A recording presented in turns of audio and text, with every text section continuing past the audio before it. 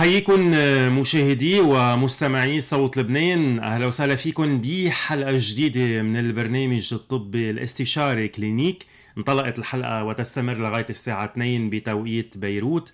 التحيات مني أنا طوني هيكل وفريق العمل. طبعا موضوع طبي جديد بنتناوله مع ضيفنا يلي بيطلع عليكم أغلبية أيام الثلاثة الاختصاصي في أمراض القلب والشرايين دكتور توني نعمة. أهلا وسهلا فيك دكتور عبر هوا صوت لبنان. أهلا فيك.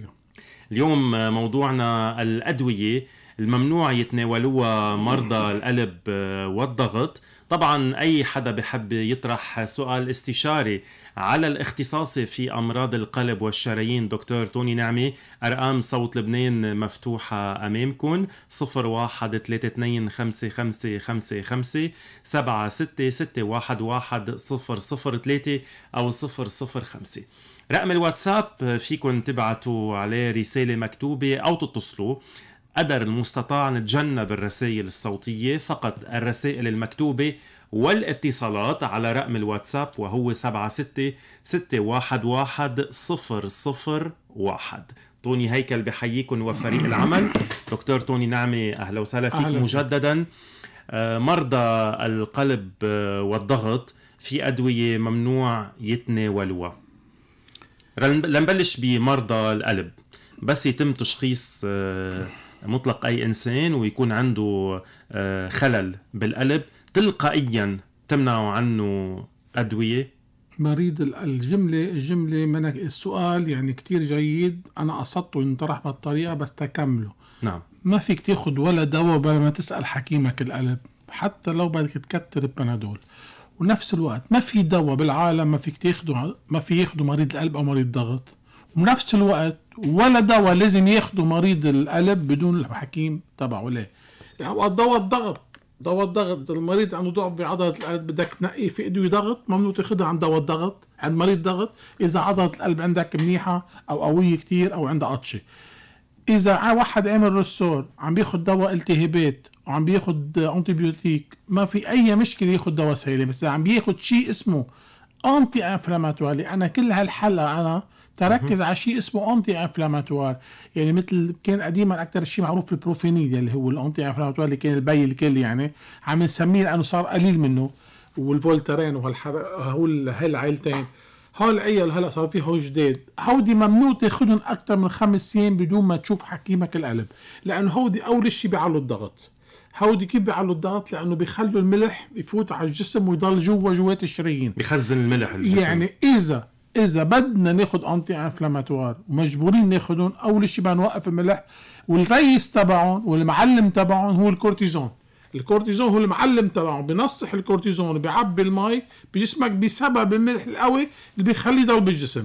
هوديك anti-inflammatoire non stéroïde هيدا stéroïde هيدا الفرق بيناتهم. أكيد فرق كتير كبير بالنسبة لغير شغلات. بس المعلم تبعهم بتعلية الضغط وبتعلية السكري هن stéroïde اللي كورتيزون ال non stéroïde بيعلوا أكثر شيء الضغط ما له علاقة بالسكري. يعني هالدوايين نفس الوقت بيريحوا كتير نفس الوقت أوقات مجبورين ناخذهم بس ممنوع ياخذهم مريض قلب أو سكري. أو ضغط بلا ما يراجع حكيمه. أوقات نضطر نزيد دواء الضغط تفينا ناخذ anti-inflammatoire أوقات بنزيد حيلا شي دواء تيطير ملح من الجسم بشان تنزيد anti-inflammatoire هيدي number 1 ال anti-inflammatoire كمان إذا مريض يعمل ressort أو قلب مفتوح عم بياخذ Plavix أو عم بياخذ اسبرين مع بعضهم. لأنه حط ressort أو Brilinta واسبرين أو Efient واسبرين هيدا المريض ممنوع منعا بتاتا ياخذ دواء اسمه anti-inflammatoire non stéroïde non stéroïde إذا كان عم بياخذ دوايين سيلان إذا اضطرينا نعطيه هيك دواء بالقليله مجبورين نوقف الأسبرين أو نوقف ال Plavix على اليومين اللي بياخذهم لأنه هيدا بدوبل أو بتربل إنك تعمل نزيف بالرأس. إذا عندك شريان ضعيف بتربل تعمل نزيف بأي محل بالجسم. إذا عندك هالشريان ضعيف. بس البعض بيقول إنه بياخذ أسبرين يمكن لا يمنع تجلطات معينة. لا لا الأسبرين وحده ما بيعمل شيء ابدا. أسبرين وحده إذا في شيء واحد عنده مشكلة بمحل آه، بالبول في دم أو بدرسه أو بشي محل بيزيد له شوي الدم ببين له إياهم.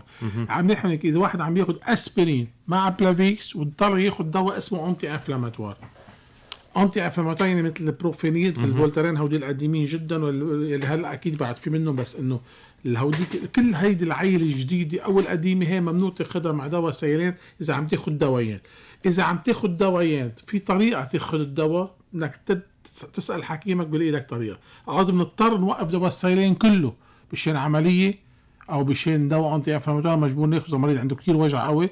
ساعتها في طريقة نعمل إبر بس أهم شيء ممنوع تاخذ ثلاث أدوية سيالين مع بعضهم خصوصا بس تاخذ انتي انفلاماتوار بيضرب المفعول تبع الأسبرين وتبع ال Plavix وتبع ال Brilinta ضرب اثنين أو ضرب ثلاثة بقصة النزيف. ما له علاقة ليش عم ناخذ الأسبرين. الأسبرين لوحده فيك تاخذه ما في أي مشكلة. إذا حبت الأسبرين الأطفال هي بتعمل لك دم بالبول معناتها انت عندك بحصه ما كنت مبين يبين لك إياها الأسبرين.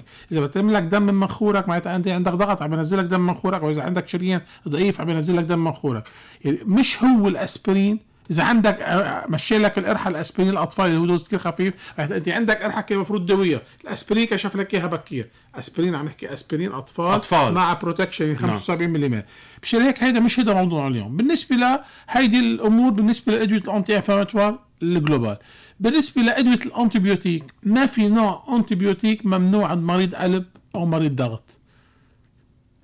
antibiotique للالتهابات ال anti-inflammatoire للوجع مع الالتهابات بس ال antibiotique للجراثيم مش للالتهابات. مريض اللي عم بياخذ دواء قلب أو ضغط شو ما كان عم بياخذ دواء؟ وشو ما كان عند حكيم اسنان في ياخذ الدواء اللي بده إياه antibiotique بلا ما يرجع لحكيمه. هون الحلو إنه بلا ما ترجع لحكيمك. وما له أي عوارض؟ مع الدواء القلب لا. له يعورض تعطي له عورض antibiotique يعمل لك حساسيه ك antibiotique بس, بس كمرضى أنا كمريض قلب ما في عندي اي مشكله تاخذ اي دواء من نوع ال antibiotique نهائيا المسكنات فيك تاخذ اي مسكن عند مريض القلب بدون ما ترجع لحكيمك إلا إذا ال anti-inflammatoire اللي حكينا عنه والكورتيزون المنومات منومات. في نوعين من المنومات. في أنواع الريس تبعهم هو الفاليوم واللي كل شيء كل شيء diazépine يعني. هيدا الدواء هيدا الدواء المشكل تبعه ممنوع تعطيه عند المرضى مش القلب. كل مرضى عمرهم فوق ال 60 70 سنة بيكون عضلة القلب عضلة الجسم تبعهم كلها صار ضعيف بما فيها عضلة القفص الصدري الصدري. الفاليوم وعائلته كل شيء ما هودي كلهم سوا هودي كلهم سوا بخففوا مفعول العضلي فيهم. توقف نفس عند العمر كبير. بينما بقية بقية الشغلات اللي مشهورين ال Xanax ال Lexotanil ال Stilnox كل هودي ها ما بيأثروا هي على العضلة. فيك تعطيه قد ما بدك حتى عند الرجل اللي عمره كبير. لو الرجل نفسه سطحي لا ما بيأثروا يضعفوا له عضلات الصدر. هودي مش لأنه مريض قلب ما فينا نعطيه. نعرف الصدفة إنه مريض قلب اجمالا بيكون عمره كبير اجمالا. 50 60 من الوقت أوقات بيكون عمره صغير أكيد. هذا المريض بالذات بدنا نفكر كتير مزبوط أما نعطيه أي نوع دواء للأعصاب لأنه في إدوية الأعصاب تنعطى قد ما بدك. كل شيء antidépresseur بيعطى قد ما بدك خصوصا ال Cipralex لأنه هو مخصوص لأدوية القلب. وكل شيء إدوية آه للنوم تنعطى type Stilnox type Xanax أو type Lexin هول المشهورين عندنا بلبنان. بينما كل شيء type type Valium ممنوع ينعطى إلا ما ينحكى مع حكيم خصوصا الرية أو حكيم القلب. نعم بدي استقبل أول اتصال معنا بالحلقة. ألو. ألو bonjour bonjour ين تفضلي. بدي أسأل دكتور آه، أنا اليوم كنت بالجيم وأنجأ نص ساعه بلشت على ال treadmill وصار عندي وجع قلب. قدي عمرك وكان في عمري 73 بتدخني؟ لا ما بدخن. عندك سكري؟ ولا شيء. لا ما عندي سكري بالعيلة عندك ضغط. حدا بالقلب؟ نعم. بالعيلة بالعيلة عندك حدا بالقلب؟ لا ما كان في طيب، حدا بالقلب بس الحمد لله ورثنا الضغط. الضغط و... وبالكلى والهيك شغلات. بس أنا عندي ضغط صار لي من 20 سنة م. وضغطي مرجلج المهم كان في هونيك شباب من الصليب الأحمر إجوا أخذوا لي ضغطي واذا طلع ضغطي عالي شوي. آه بس على شو بدل هالشيء أول شيء بدل هالشيء إنه ممنوع أنت تعملي رياضة بعمرك أساسا من عمر ال 55 سنة أو حتى من ال 50 سنة بلا ما تعملي فحوصات القلب. يعني أي مريض إحنا هلأ الشباب بيجوا يفوتوا يعملوا رياضة عمرهم 20 سنة بنجبرهم يعملوا صورة صوتية أيوة. ومجهود بركي في عندهم شيء مخبى أول شيء كان المفروض ينعمل فحوصات اسمها prevention تشوف إذا أنت ضغطك بيعلى على المجهود. يعني أنت إذا قاعدة بالبيت على التلفزيون وبتسلي ومبسوطة ببيتك مش حيعلى ضغطك. بس تعملي stress حيعلى أيوة. ضغطك. وركت هو stress المفروض هلأ تعملي أنا عاملة. إيه إمتى أنا عاملة فحص مجهود وعاملة من إمتى؟ الإيكو من شي ست شهور عظيم لكن خلي لك أه. الجملة اللي حكيناها قبل فادت العالم غيرك برافو عليك لكن أنت مرة أيه. عندك ضغط وما كشف لك كيف فحص المجهود عرفتي كيف؟ بس طلع عندي بالتخطيط وبالفحص المجهود وبالإيكو هيدا إنه تكلس بالشريان الأبهر وتقطيش بدقة القلب شو بدل ما ما كان مفروض كان مفروض والباقي مفروض تبع عليكي مدام. هول الفحوصات ضروري. وشو ضروري تبعتي لي على الواتساب. هلا خدي رقم من السنترال تبعتي لي على الواتساب فحوصات القلب اللي صارت عندي. والدواء الضغط اللي عم تاخذيه. وعم تاخذي حبة أسبرين؟ no ما عم باخذ أسبرين. ابعتي لي هول الفحوصات بدك شو تعمل مع voice قال لي ما في داعي تاخذي أسبرين. يعني ب 73 سنة ما في داعي ناخذ أسبرين. إمتى بناخذ الاسبرين؟ باي عمر؟ دكتور ما بعرف بس أنا أنا واحد اللي بيكونوا مكالسين شرايينه يعني. إذا واحد مكالسين شرايينه وعنده قطش بالقلب يعني عنده risk يعمل جلطة أكثر من غيره ثلاث مرات. إمتى بياخذ حبة الأسبرين؟ أوه. بس سؤال يعني أنا بدي اساله بدي أسأله لأستاذ mathématiques مش لحكيم. ك logique يعني. آه. عرفتي كيف؟ هلا ابعتي لي الصورة الصوتية وفحص المجهود وشو عم تاخذي دواء على الواتساب مع voice شكرا لاتصالك رقم دكتور توني نعمة متوفر على سنترال صوت لبنان. اذا امكن تتصلوا على الرقم الأرضي للإذاعة و بتحصلوا على رقم دكتور توني. يا جماعة مش كل شيء بده طب ولا دراسة، نحن الطب درسناه من 28 سنة، أكيد نسينا التفاصيل تبعه، نحن درسنا ال base كيف بتفكر وشو أساس الباز تبع جسم هذا من سنة، بس كل الطب تغير وقت درسناه لهلأ، بس في شيء اسمه منطق، اسمه منطق. أنت الجسم تبعك من عمر 21 سنة يبلش الشريان يكبر، انت جسمك على طول في جلطات ماشي أهم شيء ما تتجمع. طيب كيف بدك تمنعها تتجمع غير بالأسبرين؟ إذا 73 سنة بعد ما بلشنا ناخذ حبة أسبرين إذا ما عندنا مشاكل نزيف أو شيء. أرجع 99 من العالم ما عندها مشاكل نزيف. لأنه بنعطيهم أسبرين كلهم سوا. كل يمكن ألف مريض يصير معنا مشكلة صغيرة بس قبلها المشكلة صغيرة مخلصين مئات المرضى. مريض عنده عمره فوق ال 55 خصوصا إذا بدخن وخصوصا إذا عنده سكري ضروري ياخذ أسبرين. إذا ما عنده بالستين وطالع مجبور يكون ياخذ أسبرين. أنا بعطيه بالخمسين وطالع بكل رياح الضمير اسبرين أطفال. بيمنع الجلطات تتجمع مش ما تعمل جلطة على راسك أو شيء. هل ما عملت وجع صدر في جلطتين تجمعوا مع بعضهم. اتفقوا مع بعضهم فاتوا لعندها يا على القلب يا على الريه يا في يكون بس ضغط عليه عملت هديئة النفس. مش ضروري كل شيء أنا بحكيه بيكون 100% مزبوط بس أنا على طول بعتبر اسوء شيء صار توصل للمنيح. نعم. مش كل شيء أنا بحكيه بيكون 100% هذا هو. بس أنا بعتبر إذا اخذت احتياطاتي بدون ما اذي المريض شو بخسر؟ أنا بعتبر على طول بالقلب خصة بعمر كبير هذا أسوأ شيء عم بصير. باخذ احتياطاتي. ما صار؟ بكون اعطيت دواء ما بيأذي. أهم شيء تعطي دواء ما بيأذي زي ما بفيد الأسبرين إذا أنت ما عندك مشكلة في محل نزيف أو شيء بيقول لك جرحت حالي بنزف زياده خمس ثواني. طب ما انت بص خمس ثواني بس مقابلها بتجرح حالك أنت مرة كل عشر سنين أو مرة كل سنة يا خيي بس بتمنع الجلطة مرة كل دقيقة. شوف شو عم نربح. دكتور إذا طلعت إذا طلعت بالسيارة على الأوتوستراد فيك تعمل اكسيدون بس ما طلعت بدك تضل قاعد ببيتك بالدبريس. كل شيء فيه بس أهم شيء الإفادة أكثر بكثير ناخذ الحبه الأسبرين بعض الأطباء بيعطوه يوم إيه يوم لا هو لازم يتنقل ما فيني يوم إيه يوم لا ما, في دواء. الدواء إذا الدواء إذا إذا ال life تبع الأسبرين 48 ساعة بتعطيه يوم إيه يوم لا. طب ما ال life تبعه 24 ساعة. وال 24 تاني شو بتعمل؟ بتتفرج عليه؟ يعني بالأخير فهمت علي؟ إنه الأسبرين بدك تاخده كل يوم تضل أنت مسيل دم هلأ أنت إذا وقفت الأسبرين بضل أربع أيام جسمك سيالين فيه. بس بيكون عم بيعمل هيك fluctuation يعني بصير عم يمرق برديهو ديبا البلاكات بيصيروا يهربوا لما بيكون هالجسم شوي ضعف طيب مش يخليهم يتجمعوا مع بعضهم. بدك تعطيه نفس الوقت تيمنع البلاكات هي يتجمعوا مع بعضهم.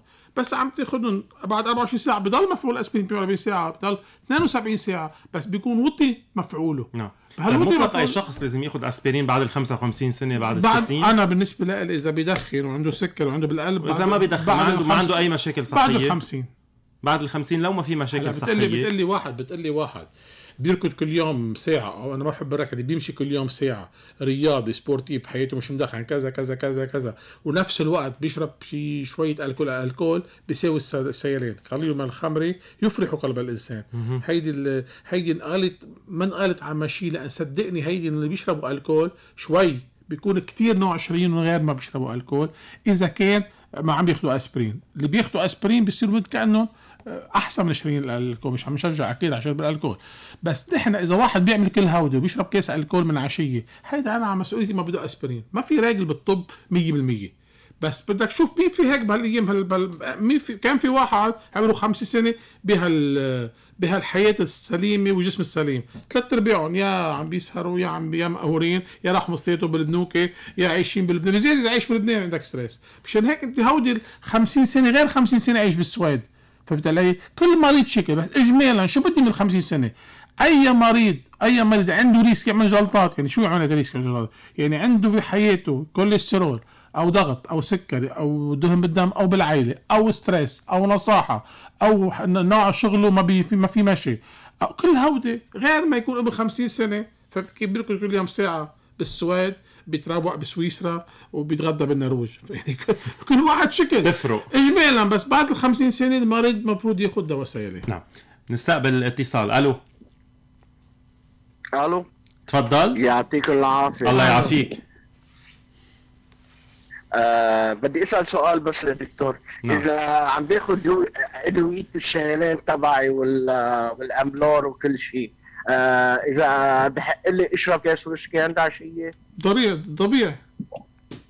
طبيعي. مع الدواء مع الدوايات يعني مش إيه، مش انه مش إنه تحط الدواء الدواء بالكيس الويسكي يعني فيك تشرب اللي بدك لا أكيد. إيه، بس مش إنه مع الدوايات 100% فيك تشرب كيس شو ما بدك. يا كيسين ويسكي صغار يا كيس نبيد كبير يا كيسين حيلا نوع فودكا أو جين صغار مقبولين جدا سوا ما بيعملوا أي مشاكل.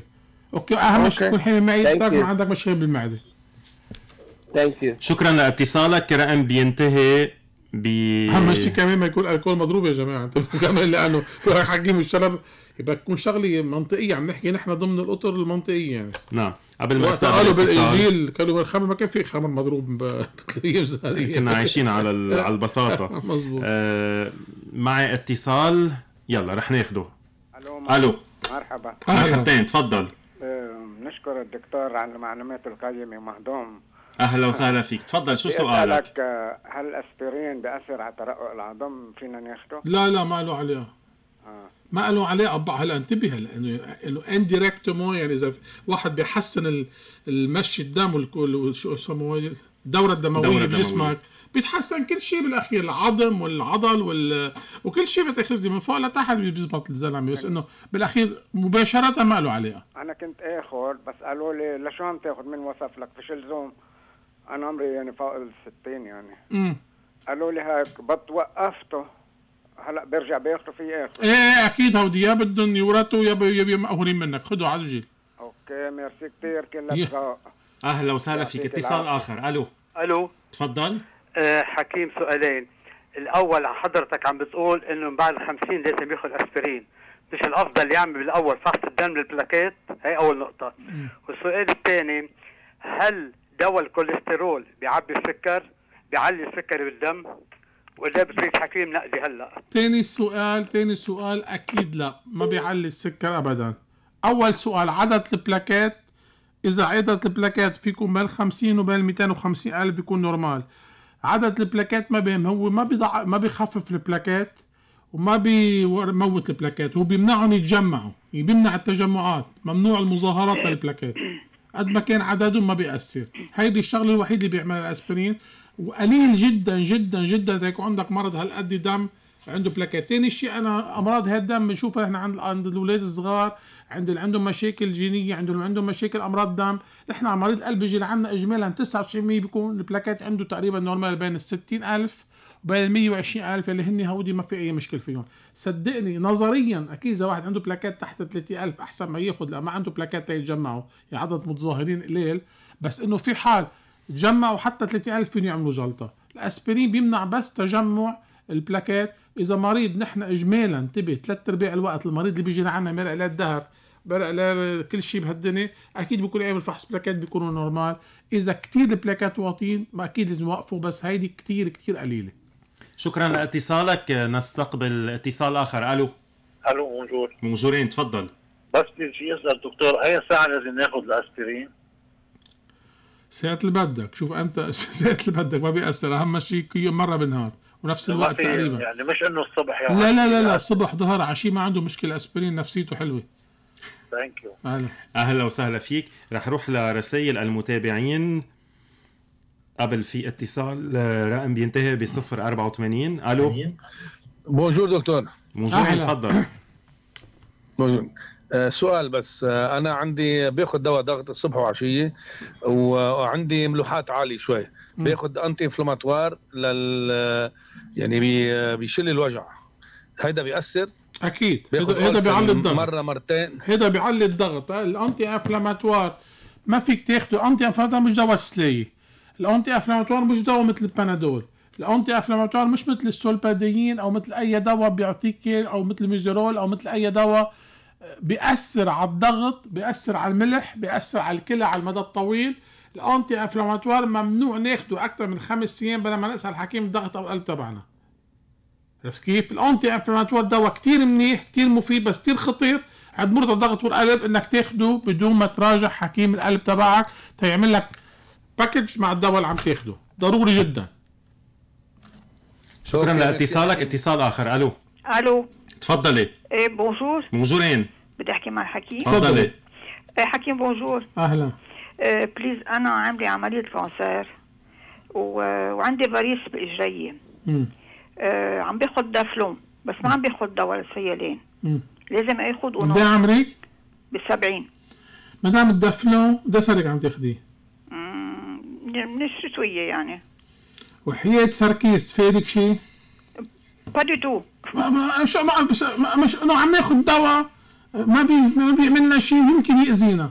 تاخذي حبة أسبرين تمنع لك الجلطة. هيك عم تعرضي حالك لجلطات.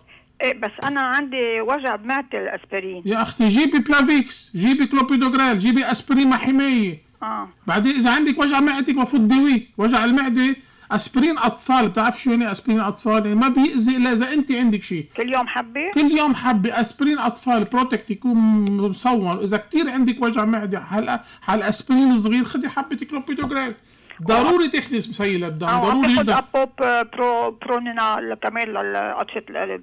شو؟ بروبانول وي.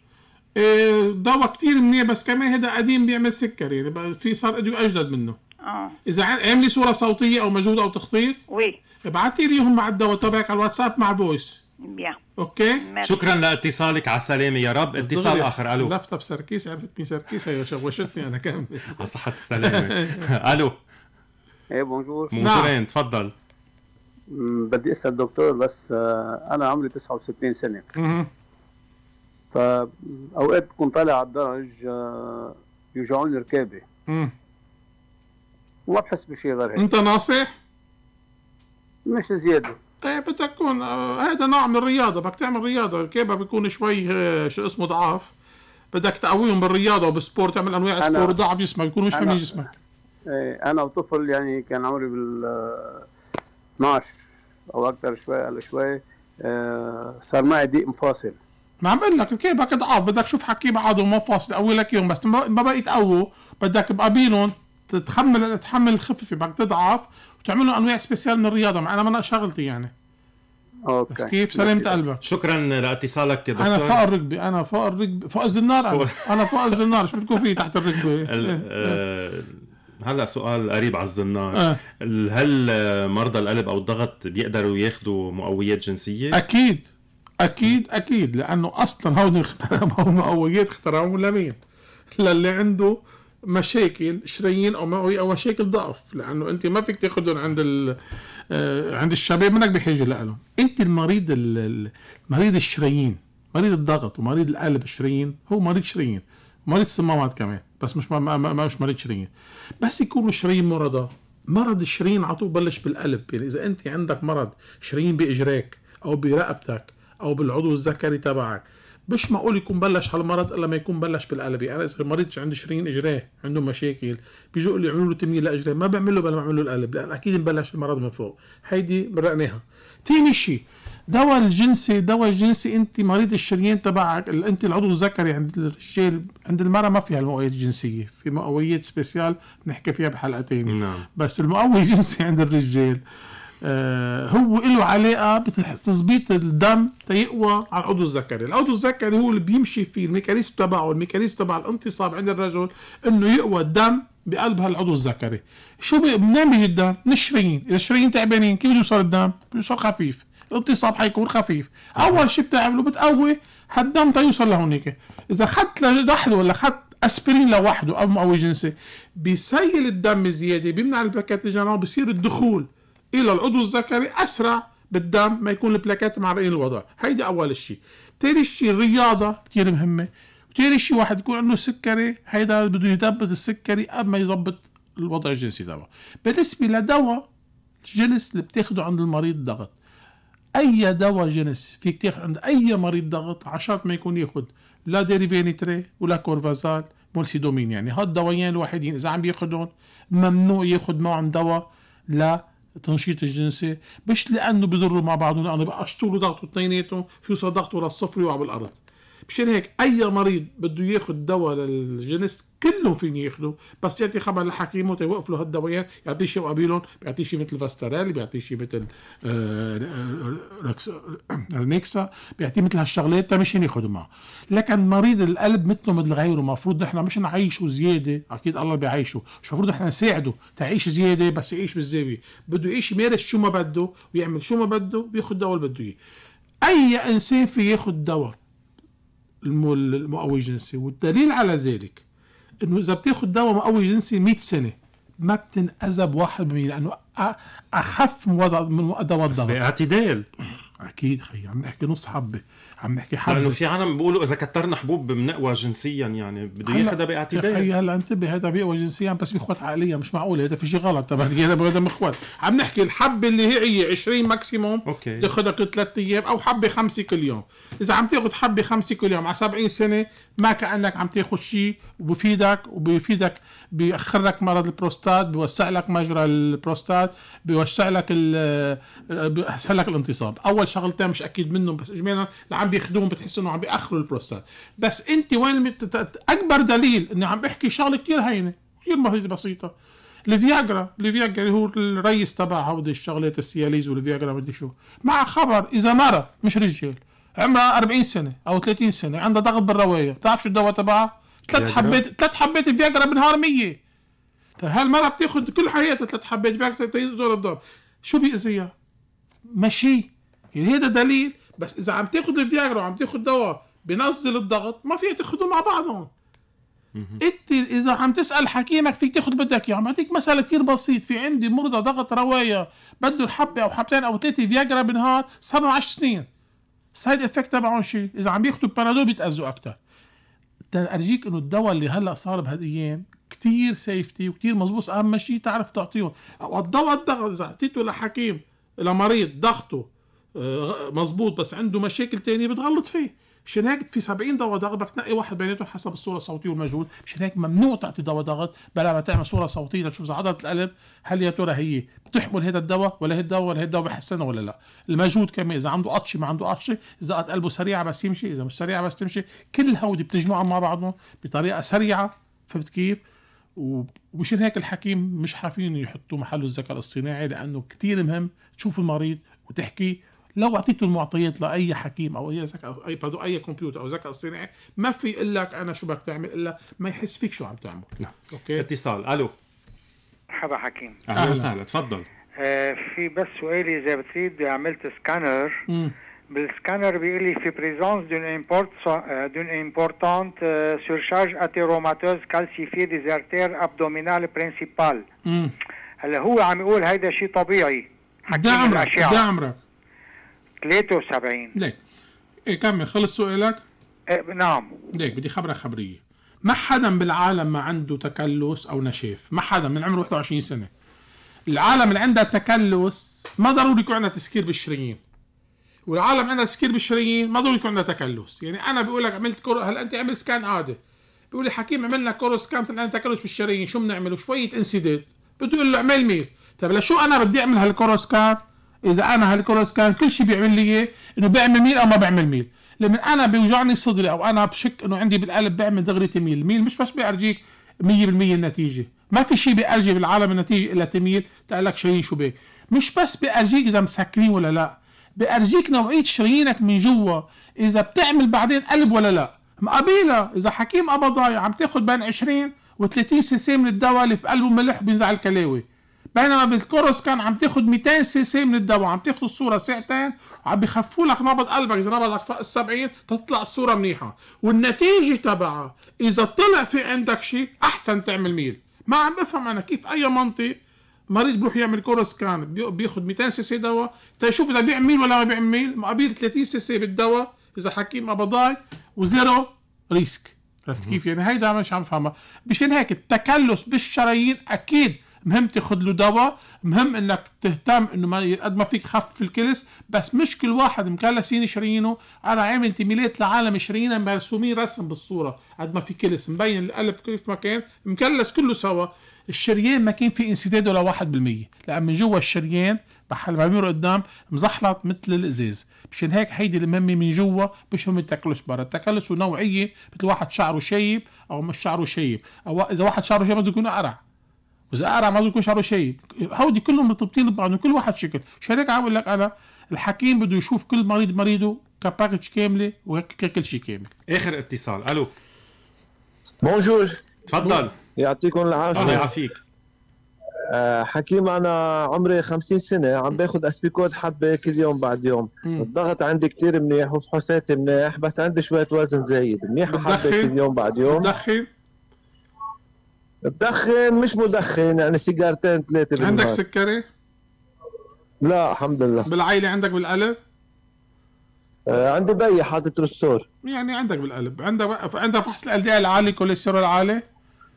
لا منيح ال دي ال ال دي ال بده يكون عندك تحت ال 100 لأنه بيك عنده بالقلب. آه يعني على حدود إذا تحت اي أهم شيء بدك تجيب بدك تنزل LDL تحت ال 100 بدك تضعف شوي وخذ حبة آسبرين كل يوم على مسؤوليتي. كل يوم باخذ إيه احسن مجوز؟ إيه مجوز. منها خلص حبدي كل يوم حبدي كل يوم. شكرا لاتصالك أهلا وسهلا فيك. الاختصاصي في أمراض القلب والشرايين دكتور توني نعمة أهلا وسهلا فيك عبر هوا صوت لبنان. اللقاء يتجدد الثلاثاء المقبل الساعة 1 وثلث بتوقيت بيروت. أهلا فيك. مشاهدينا ومستمعينا غدا بالتوقيت عينه بيلتقيكم زميلي أندري داغر بحلقة جديدة من كلينيك. بتبقى التحيات مني أنا توني هيكل وفريق العمل. إلى اللقاء.